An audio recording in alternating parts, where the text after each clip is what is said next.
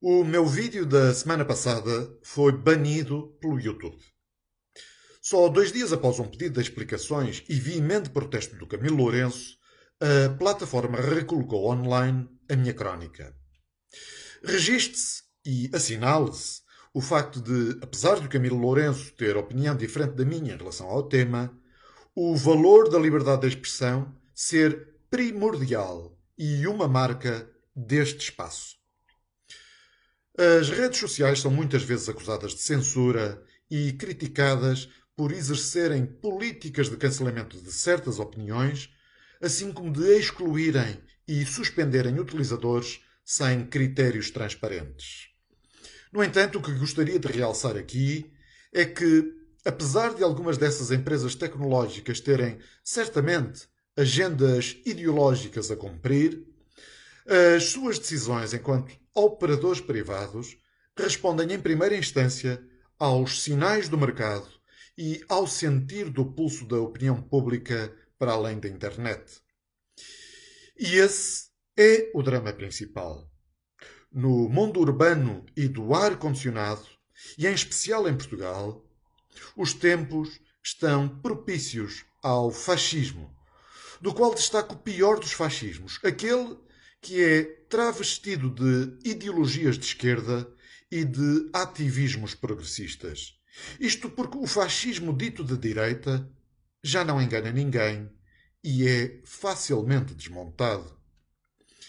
A suspensão do meu vídeo pelo YouTube resultou de denúncias diversas e basta estar atento a muitos dos comentários deixados nas redes sociais para perceber que está instalado no nosso país um clima de execrável bufaria e repugnante delação.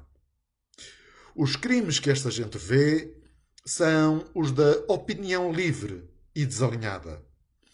As duas características principais dos chibos são a sua ignorância e covardia. E é natural que estes bufos se sintam ainda mais motivados a fazer novas queixinhas infantis depois de me ouvirem dizer o que vos transmito, porque isso é típico dos imbecis e prepotentes. Os egos insuflados dos bufos e os seus delírios moralistas são próprios de seitas evangélicas, mas gente de bem não deve pactuar com patifarias os profetas do politicamente correto e do pensamento único só são recompensados pelo silêncio e vista grossa da população. Felizmente, grande parte da audiência da cor do dinheiro assiste a estes programas precisamente porque aqui houve o que não houve em mais lado nenhum. E, mesmo que não concorde com tudo o que é dito, recusa a nova Inquisição e não se ofende com opiniões diferentes das suas.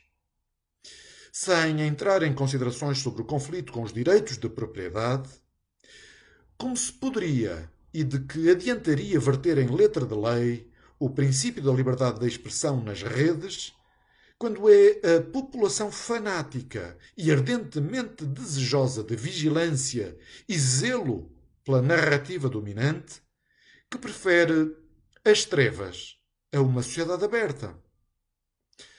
Basta, pois, cada um de nós não ter receio de ter opinião própria, usar de pensamento crítico e não ser um triste fracalhote.